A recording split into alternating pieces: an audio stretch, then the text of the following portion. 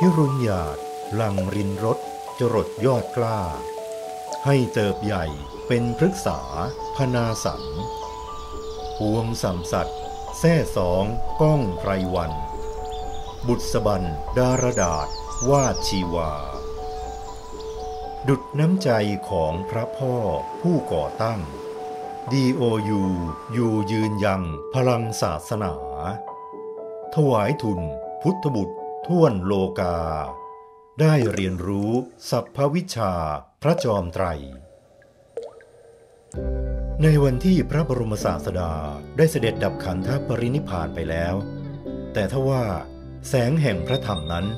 ยังคงสาส่องให้ได้สัมผัสและเรียนรู้ผ่านพระไตรปิฎก โดยมีพระสงฆ์สาวกเป็นผู้ถ่ายทอดองค์ความรู้นี้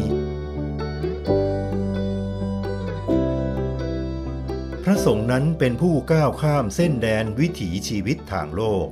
มาสู่ฟากฝั่งแห่งพระนิพพาน ท่านต้องผ่านกระบวนการเรียนรู้อย่างน้อยสองประการ ทั้งคันถาธุระและวิปัสสนาธุระ เพื่อให้เป็นพุทธบุตรที่งดงามทั้งวิชาการและวิชาชีวิต ในปัจจุบันเราพบว่า อุปสรรคการเข้าถึงทรัพยากรการเรียนรู้ของพระสงฆ์ อันเนื่องด้วยข้อจำกัดทางภูมิศาสตร์ และเศรษฐกิจยังคงปรากฏให้เห็นอยู่ ด้วยวิสัยทัศน์อันกว้างไกลของพระพ่อ โครงการถวายทุนการศึกษาแด่พระภิกษุสามเณรทั่วโลกจึงเกิดขึ้น และดำเนินต่อเนื่องมายาวนานถึง 20 ปี ได้ถวายทุนการศึกษาไปแล้วกว่า 7,400 รูป ซึ่งการสนับสนุนเหล่านี้ ล้วนมาจากนักศึกษาและท่านเจ้าภาพมหาเศรษฐีผู้ใจบุญ เราขอขอบคุณและเชิดชูเกียรติทุกท่าน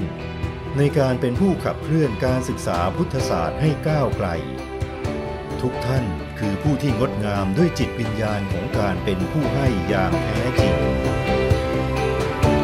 การถวายกองทุนการศึกษานี้ ต้องใช้แรงกาย แรงใจเป็นอย่างมาก เนื่องจากเป็นการจัดการกองทุนและจัดการศึกษาไปพร้อมๆกัน แต่ตราบใดที่โลกใบนี้ยังคงมีพุทธบุตร สืบทอดอายุพระพุทธศาสนาให้คงอยู่ ตราบนั้น DOU จะยังคงถวายทุนการศึกษาต่อเนื่องไปเช่นนี้ เพราะนี่คือหน้าที่ของเรา มหาวิทยาลัยแห่งวิชาชีวิต